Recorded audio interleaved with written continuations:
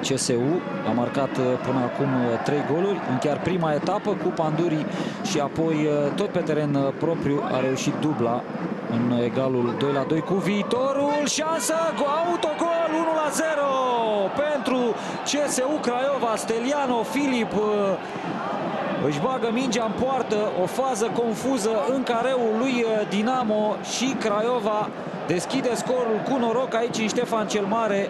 Mingea îl lovește pur și simplu pe Steliano Filip. Iată o prelungire a lui Matson. Bawab uh, lovește defectuos. Târnăcop a bătut uh, acest corner.